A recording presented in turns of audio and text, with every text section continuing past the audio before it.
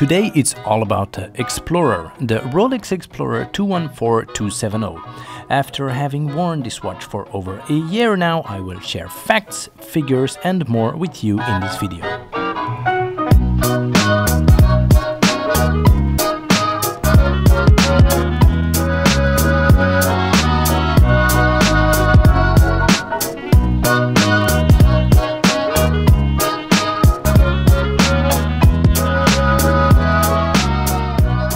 A lot of technical information concerning this watch and its history can already be found on the website, links are below in the description. Before we start I will give you the essential technical details here in the next 60 seconds.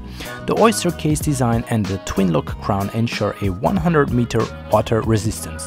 This is a time-only, no-date and no-nonsense wristwatch. The dial has applied white gold indices and numerals which are generously loomed with Rolex's blue Chromalight lume. The bezel is polished as are the sides of the case and the links. This adds a bit of a welcome spark to the otherwise Spartan design. The Explorer comes on the iconic tapered oyster bracelet, the bracelet that, let's face it, all other bracelets want to be when they grow up.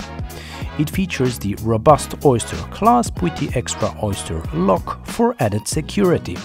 It wears very well and flat against the wrist. Being all steel, it has a weight to it, yes, but absolutely nothing uncomfortably heavy.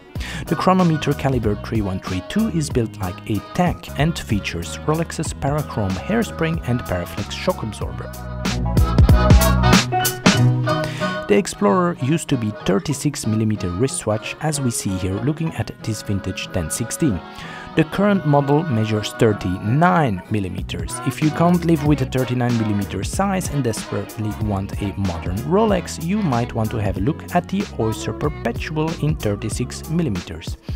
That being said, the current model feels very much like a current watch, a watch that is made today and ready for tomorrow, engineered essentially to perfection. Exactly what you would want and expect from a modern Rolex. Everything feels about as solid as it can get and it is essentially a no-worry wristwatch. It looks and feels like you can throw pretty much anything you want at it. Explorer can go perfectly unnoticed if you want it to. The only eye-catching features it has are in fact the bezel and oddly enough the crystal. The bezel is polished and does pick up hairline scratches over time, but it certainly keeps its luster. True to Rolex's design ethos, the sapphire crystal suffers a complete lack of anti-reflective coating. This allows the light to dance around the face of the watch quite dramatically in daylight as I am showing in this video right now.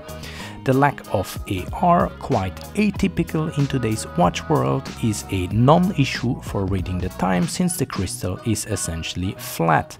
The fact that the crystal is flat and that AR coatings tend to wear out over time are likely part of the reasons why Rolex does not add the coatings in the first place.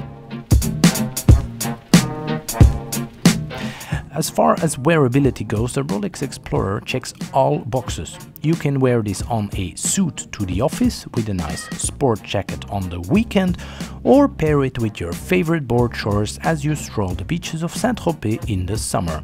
This watch is versatile. It can easily fly under the radar when you want it to, which is quite a unique feature when looking at the broader Rolex sports watch lineup.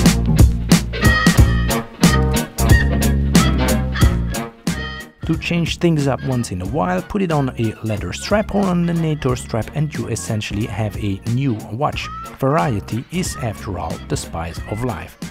The 214270 also exists in a version with no luminous numbers and a shorter handset. It has the exact same reference number as the watch we are looking at, but for ease of speaking that particular release is referred to as the Mark 1, whereas the one we are looking at is generally called the Mark 2.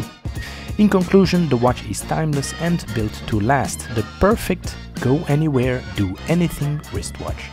You could easily buy an Explorer and never want or need to buy another watch again. It's that kind of watch.